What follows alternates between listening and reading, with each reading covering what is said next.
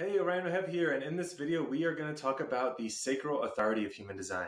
And if you're watching this video, I assume you've generated your chart and have found out that you have a sacral authority, or you know someone that has one and just want to understand them better, or perhaps you're just curious about it in general. And whatever the scenario, you're in the right place. In this video, we are going to deep dive into it, but also make it really simple. There's a lot of complex information out there about the sacral. I want you to leave this video feeling confident that you know how to listen to your sacral authority to make the decisions in the most easy aligned way to move through your life as you're designed to. So that brings us to the first point. What is the authority of human design? Well, the authority of human design is referring to your inner authority, how you're actually designed energetically to make decisions. Now, you've been taught and told that you're designed to make decisions using your mind but that is not true.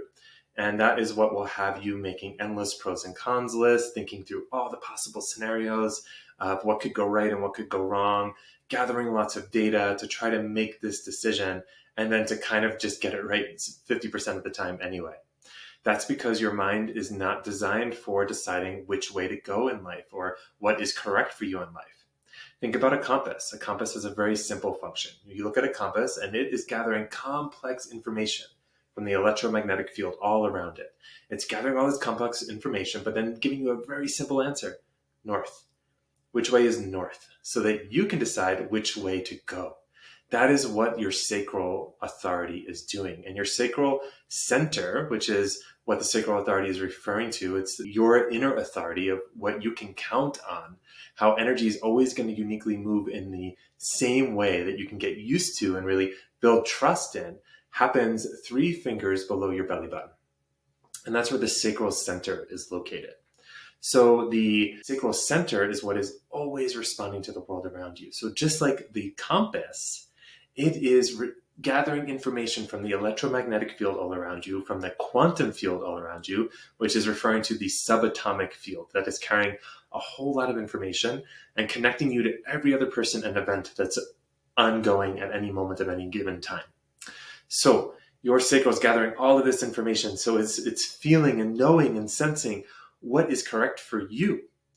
But not only what is correct for you, that, that's a one factor it's taking into account. The second factor it's taking into account is do you have enough energy for this opportunity, for this relationship, for this new idea right now?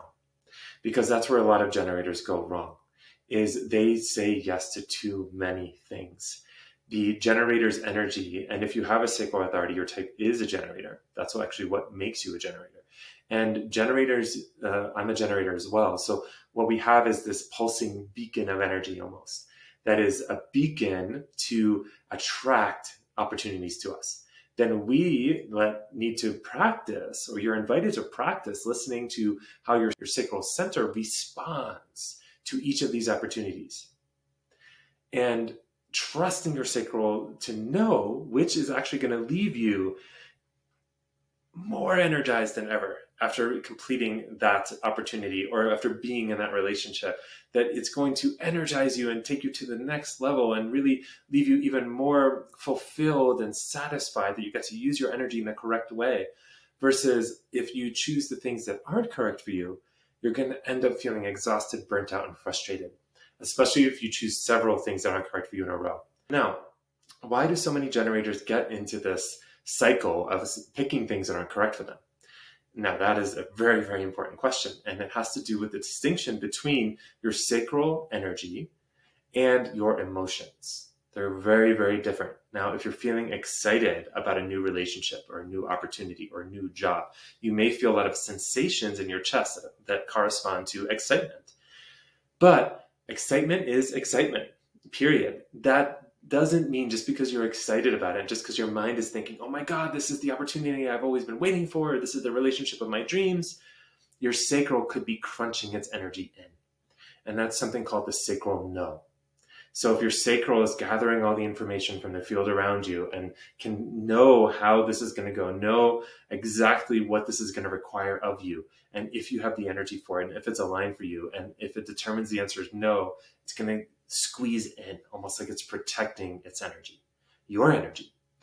And if you ignore that and just sort of like, oh, something doesn't feel quite right, but I'm, this is what I've always wanted, so I'm going to do it anyway Maybe you've had an experience of that where it hasn't quite gone as you hoped and it ended up not going that well at all. Now, if you keep doing that, and maybe you're not even tuned into the sacral, but that uh, many people aren't. It took me a year after I found out about it to really be tuned in and be able to discern my sacral response from my emotions. But if you um, ignore it enough or say yes to the things that aren't correct for you enough, you weaken your beacon. So that pulsing energy that calls in all these amazing opportunities and partnerships and friendships and relationships is going to start to pulse a little bit less. And then you'll notice not only are you exhausted and burned out, but those opportunities that used to come to you so abundantly kind of aren't there anymore. And I don't want that to happen to you. So I really want you to practice listening to your sacral. A flip possibility also happens where you're feeling like fear and anxiety in your body about like this discomfort about a decision but your sacral energy is like jumping out at it. That's the sacral yes where it's rising up from three fingers below your belly button and saying use me for this. Now that's saying even if you're scared or a little nervous or your mind is like but what if your sacral is saying it's all going to be good?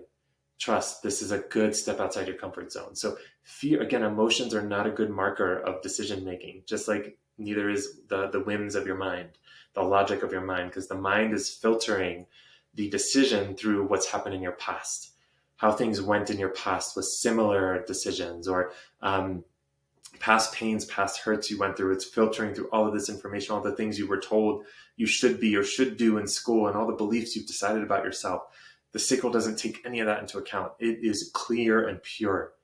And I want you to start trusting that because that's your truth. That's a truth that is not deniable. It's not refutable. It, it, doesn't need a validation from anyone. In fact, a lot of people will probably think you're crazy sometimes when you're following your sacral. You might even think you're crazy, but it is the truth. It's your truth. It's inarguable because it's your body telling you and it's not considering any of the things that your mind has begun to believe about you or the world based on what you've learned. So it's very, very clean in that way. So, what I invite you to do to practice building your subtle awareness of this sacral response is with small decisions each and every day. Because your sacral response is always happening, I promise you. Even if you don't even know what the heck I'm talking about, you don't think you have one, you think maybe yours is broken, it's not. Just like smelling, seeing, hearing, tasting, and touching, it is always happening. It is responding to everything in your life. Every big decision, every small decision, every opportunity, every relationship, every time you go to eat something, which is where I invite you to start with your meals. When you're thinking what you're going to have for breakfast, what you're going to have for lunch, what you're going to have for dinner, that you, instead of trying to figure that out or choose that with your mind or what your emotions want, feel into your sacral feel into what your sacral is saying as you reach for things in the fridge or think about where you're going to order food from or open the fridge and look around and start to just bring your awareness down to the sacral center. If you haven't been feeling this sensation, it may take a while. It may take a while to build that subtle awareness because it is a subtle awareness, subtle energetic awareness. But once you start to feel it, you're going to notice it's happening all the time. And if you build that trust, if you start to have some really good experiences um, experiences with it with smaller decisions, when the big decisions come, you'll already have that trust built. So when your mind's freaking out and your emotions are like ah, that you can still take a deep breath and trust the truth of what your sacral is telling you, your truth. So that's my invitation to you to practice with those small decisions like um, if you I'll go out for walks, should I turn left? Should I turn right? And start to notice, start to ignore it sometimes if you want.